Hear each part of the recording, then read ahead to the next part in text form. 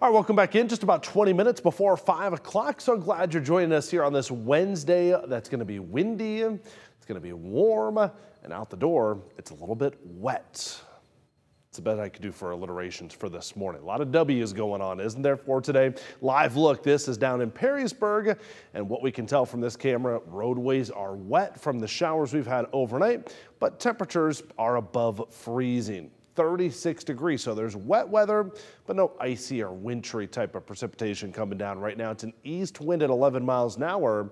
And even though it doesn't seem very impressive so far, today will be easily, look at our 10 day forecast temperature trend, the warmest day for the next week and a half.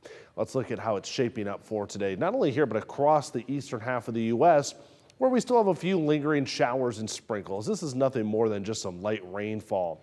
On the northern fringe of this system, there is snow from Michigan all the way up to uh, Minnesota and back to the Dakotas, but that cold air is getting pushed out by warm weather. And down to the south, that warm combination along with thunderstorms means a significant severe weather outbreak likely. The state of Mississippi, Arkansas, Louisiana, and Alabama will be under the gun later this afternoon for strong gusty winds and very likely tornadoes. For us, we're not talking about severe weather on the way forward today, but it will be warm, it will be windy, and our chance for rain after these sprinkles and light showers this morning will increase after the sun goes down once again for tonight. Let me show you what I mean here. My hour by hour forecast. Put the clock into motion and even through noon, you're going to look at this say 53 at noon. We're going to jump up quickly with a southerly wind, but this afternoon is really where we're targeting for those high temperatures to go jumping up close to 70 degrees for several hours this afternoon. Notice the sky is dry. It's relatively cloudy, but it's not until this evening that rainfall will return. This is 7, 8, 9. Here's 10 o'clock when that rainfall becomes more likely.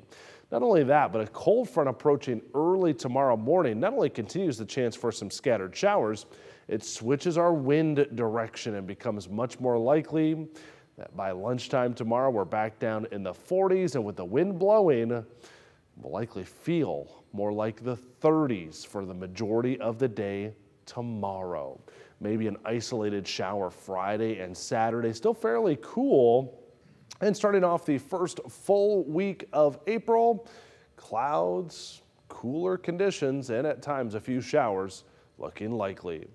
That's the latest on our 10 day forecast.